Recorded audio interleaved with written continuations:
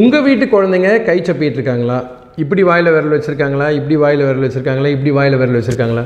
கை சப்புறது அப்படின்றது ஒரு சாதாரண பிரச்சனை. இன்றைக்கி அதை பற்றி தான் நம்ம எஸ்எஸ் சைல்ட் கேர் சேனலில் பேச போகிறோம் இது உங்கள் டாக்டர் தனசேகர்.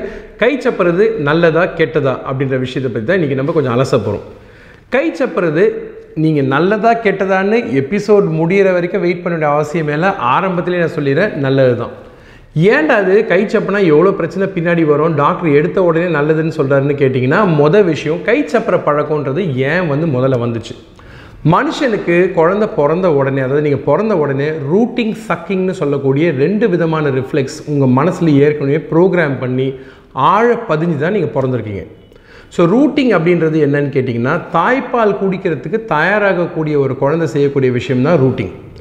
ரெண்டாவது விஷயம் சக்கிங். சக்கிங்கிறது உரியது. ஸோ ரூட்டிங்கும் சக்கிங்கும் இயற்கையாகவே நம்ம மனசில் பதிஞ்ச ஒரு விஷயம் இருக்கிற சமயத்தில் அந்த ரூட்டிங் சக்கிங்கை வந்து நம்ம தடுக்கிறது நல்லதா அப்படின்னு கேட்டிங்கன்னா கட்டாயமே இல்லை. ஸோ ரூட்டிங் சக்கிங் பண்ணக்கூடிய குழந்தைங்க ஆரம்ப காலத்தில் தாய்ப்பால் குடிக்க ஆரம்பிப்பாங்க. நைட் டைமில் குழந்தைங்க கை சப்ப ஆரம்பிக்கிறாங்கன்னு வச்சுக்கோங்களேன். ஏன் எடுக்கக்கூடாதுன்னு பார்த்தீங்கன்னா ஒரு உதாரணத்துக்கு நீங்கள் ஒரு பாசிஃபையர் யூஸ் பண்ணுறீங்க அல்லது குழந்தைக்கு வந்து வாயில் நிப்பில் வச்சு தூங்க வைக்கிறீங்கன்னா தூங்கிட்டு இருக்க குழந்தை நம்ம எல்லாருமே நைட் டைமில் ஒரே மாதிரி தூங்குறது கிடையாது. சில சமயம் நம்ம தூக்கம் கொஞ்சம் லேசாக இருந்து அப்படியே சுதாரித்து எழுந்துருவோம் ஸோ அந்த மாதிரி சமயத்தில் குழந்தை வந்து தன்னைத்தானே சமாதானப்படுத்திக்கிறதுக்கான ஒரு முக்கியமான விஷயம் தான் இந்த விரல் சப்புறது. விரல் சுப்பக்கூடிய குழந்தைங்க வந்து தன்னைத்தானே சமாதானப்படுத்திக்கிறது மட்டும் இல்லாமல் அவங்களுக்கு எப்பெல்லாம் தூக்கத்தோட தன்மை குறைய ஆரம்பிக்குதோ அப்போல்லாம் குழந்தைங்க வந்து வாயில் விரல் வச்சுக்கிறாங்க. ஸோ இது வந்து ஒரு நார்மலான விஷயம். ரெண்டு வயசு வரைக்கும் குழந்தைங்க கை சப்புறது ஒரு பெரிய விஷயமே கிடையாது. ஸோ அடுத்தபடி மேலே போகிறப்போ நீங்கள் யூஸ் பண்ணக்கூடிய விஷயம் வந்து இந்த சிலிக்கான் நிப்ளர் இதுலேயே பார்த்தீங்கன்னா ஆறு மாதத்துக்கு மேலேன்னு போட்டிருப்பாங்க.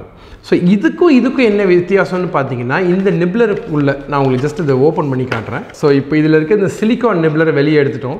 இந்த சிலிக்கான் நிப்ளரில் என்ன ஒரு பெரிய ஒரு முக்கியமான விஷயம் அப்படின்னு பார்த்தீங்கன்னா இது வந்து நான் ஏற்கனவே சொன்ன மாதிரி பிபிஏ ஃப்ரீ பிளாஸ்டிக் ஆக்சுவலாக இருக்கிறதுனால குழந்தைங்களுக்கு நச்சுத்தன்மைக்கான வாய்ப்புகள் மிக குறைவு. இதில் ஒரு பியூட்டி என்னன்னு பார்த்தீங்கன்னா இது ஆக்சுவலாக அழகாக ஸ்டோர் பண்ணலாம். ஸோ இதில் வந்து தூசு வேறு எந்த விஷயமும் இது மேலே படாது. ஸோ இதுதான் வந்து அந்த ஆக்சுவல் நிப்ளர் ஸோ இதுக்குள்ளே என்ன பண்ணலான்னு கேட்டிங்கன்னா குழந்தைங்க சாப் சாப்பிடக்கூடிய அல்லது சப்பக்கூடிய பட வகைகள். ஒரு உதாரணத்துக்கு பார்த்தீங்கன்னா தர்பூசணியோ அல்லது முலாம்பழமோ இருந்துச்சு அப்படின்னா இந்த நிப்ளருக்குள்ளே அழகாக போட்டுட்டு இதை நீங்கள் க்ளோஸ் பண்ணி குழந்தைக்கு கொடுத்துட்டீங்க அப்படின்னா அவங்க வாயில் வந்து ஆக்சுவலாக அதை அப்படியே வச்சுக்குவாங்க. இது ருசி மட்டும் இல்லாமல் சப்பரத்துக்கும் சரி குழந்தைங்களுக்கு வாய் ஒரு மாதிரி இருந்துச்சுன்னா அதுக்கும் ரொம்ப யூஸ்ஃபுல்லாக இருக்கும். இதில் பார்த்தீங்கன்னா ரெண்டு சைஸ் இருக்குது சின்ன சைஸ் சின்ன வாய் இருக்க குழந்தைங்களுக்கு சின்ன சைஸும் கொஞ்சம் பெரிய வாய் இருக்க குழந்தைங்களுக்கு இந்த பெரிய சைஸும் இங்கே இருக்குது ஸோ இந்த ரெண்டு விதமான நிப்ளர் நீங்கள் தாராளமாக யூஸ் பண்ணலாம். இந்த நிப்ளர் யூஸ் பண்ணுறதுல இன்னொரு முக்கியமான விஷயம் என்னென்னு கேட்டிங்கன்னா இதை சேஃபாக வச்சுருக்கிறதுனால இதில் வந்து இந்த பிளாஸ்டிக் பார்த்தீங்களா இது நல்லா கவனித்து பார்த்தீங்கன்னா இதில் வந்து நிறைய ஓட்டைங்க இருக்கும். ஸோ இந்த ஓட்டை வழியாக தான் குழந்தைங்களுக்கு ஜூஸ் உள்ளே போகும். ஸோ இது வந்து சிலிக்கான் நிப்ளர் ஸோ முதல்ல நம்ம காமிச்ச விஷயங்கள் டீதர் அதுக்கப்புறம் நம்ம போகக்கூடிய விஷயங்கள் நிப்ளர் இந்த நிப்ளரில் ரெண்டு சைஸும் இருக்குது இந்த பாதுகாப்பாக இருக்கக்கூடிய கேப்பும் இங்கே இருக்குது ஸோ இதை மூடி இப்படி வச்சுட்டீங்க அப்படின்னா எங்கே வேணால் நீங்கள் வெளியே எடுத்துகிட்டு போகலாம் ரொம்ப சேஃபாக இருக்கும். ஸோ கை சாப்பிட்ற பழக்கத்துக்கு மறுபடியும் நம்ம வரத்துக்கு முன்னாடி முக்கியமாக நீங்கள் தெரிஞ்சிக்க வேண்டிய விஷயம் என்னென்னா அமெரிக்கா டென்டல் அசோசியேஷன் ரொம்ப கிளியராக சொல்கிறாங்க அஞ்சு வயசுக்கு முன்னாடி குழந்தை கை சாப்பிட்டு இருந்தால் பயப்பட வேணாம். குழந்தைங்களுக்கு வாயில் எந்த பிரச்சனையும் வராது. பல்லெல்லாம் நேராக தான் இருக்கும். அதனால் அதுக்கான வாய்ப்புகளும் சாத்தியக்கூறுகளும் மிக குறைவாக தான் இருக்குமே தவிர பயப்பட வேண்டிய அவசியம் இல்லைன்னு ரொம்ப கிளியராக சொல்லியிருக்காங்க.